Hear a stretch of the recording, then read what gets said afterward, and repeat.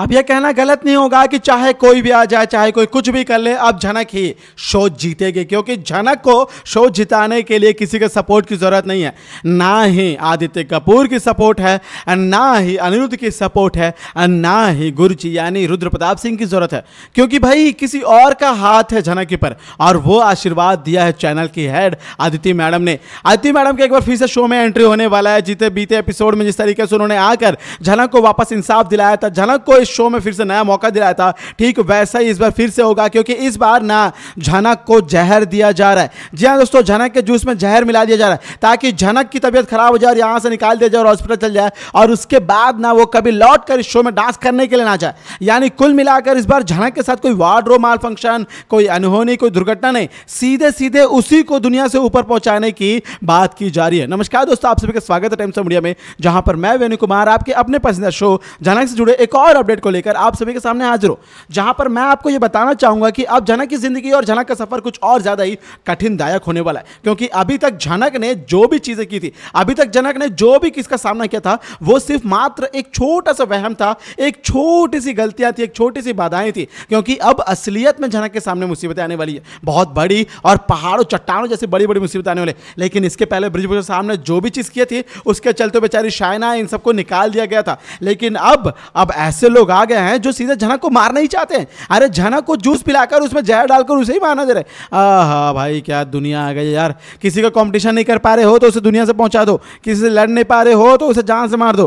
कहाँ के उसूल हैं भाई आपके? चलो, ये भी कोई ना कोई ब्रिजभूषण नहीं बोला होगा, लेकिन अब ब्रिजभूषण ही नहीं, बल्कि कहानी में ट्विस्ट तो तब आएगा दोस्तों, जब यहाँ पे असलियत में आने वाले हैं अर्शी, सृष्टि, क्योंकि दो माँ बेटी ऐसे ये दोनों हैं जो जनक की ज़िंदगी के सबसे बड़े ग्रहण हैं। और इन लोग यदि आकर जनक की ज़िंदगी में ग्रहण लगा दे तो जनक की ज़िंदगी में कभी भी इस अंधियारे के बाद उजाला नहीं आ पाएगा। बेचारी झनक ना ढूंढते ही रह जाएगी अपनी ज़िंदगी के उजाले को कि कहाँ गया है उसकी ज़िंदगी को उजाला, क्योंकि अर्शी और सृष्टि जो आ गए।